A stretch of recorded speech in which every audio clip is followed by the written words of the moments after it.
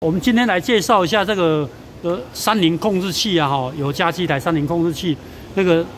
啊换刀系统啊故障排除，就是我们这个 ATC 啊这个 ATC 哦，它卡在中间啊，如何帮它排除掉哈？然后我们来看一下整个示范表演哈。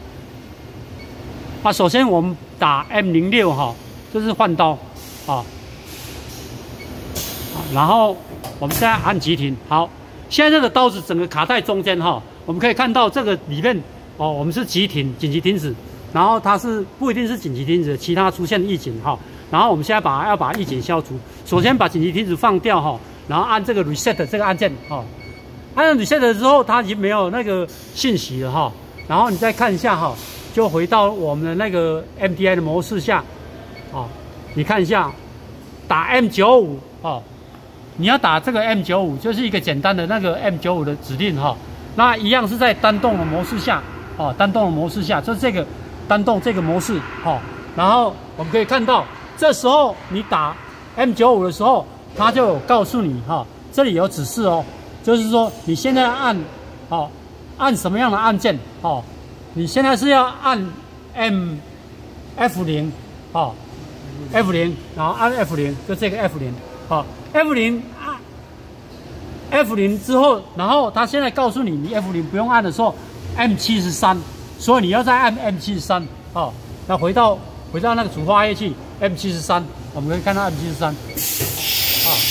，M 七十三的时候，它就是整个松刀啊，系统松刀，然后你再继续按 F 零，好，再继续按 F 零，我们可以看到按 F 零的时候，它会啊慢慢的移动。不要按太快啊，就慢慢的移动，好，整个刀子喷过来，好，这时候我们可以看到它，你 F 零已经一闪一闪，不会再按了，没有办法再按，然后它再告诉你啊，你要按啊，就是下指令 M 七十五，要下 M 七十五，啊，我们可以看到我们在下一个 M 七十五，啊，M 七十五就是啊，整个夹刀上来，然后刚刚的吹气自然就不见，然后这时候它会告诉你。要按 F 零啊，然后你看到我们按一下 F 零啊啊，按 F 零，好，按下放一下，按一下放一下哈，然后它就回到中间哈，回回到中间，回到中间的时候哦，